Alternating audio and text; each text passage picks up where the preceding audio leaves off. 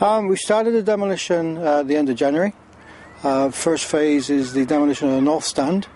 Uh, the next phase is the south stand, which is uh, opposite me at the minute. Uh, next is the east, and then the west, which is to my right hand side. It is tricky. Logistics of trying to get the transport in and out is a nightmare. We've had to open roads up to get uh, the heavy plant in, which you can see behind me.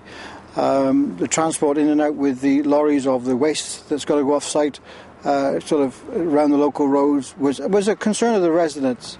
But we're only got, we've only got about six or eight movements per day, uh, and we've had no complaints yet.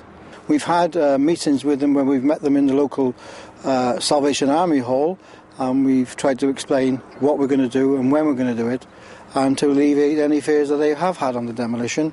And so far, all has gone well. The timescale on this project is approximately six months. Uh, it will go in phases. Uh, the first phase is asbestos and demolition of the stands down to ground level. Uh, then it's the removal of all the concrete below ground, crushing of that and reusing that on site.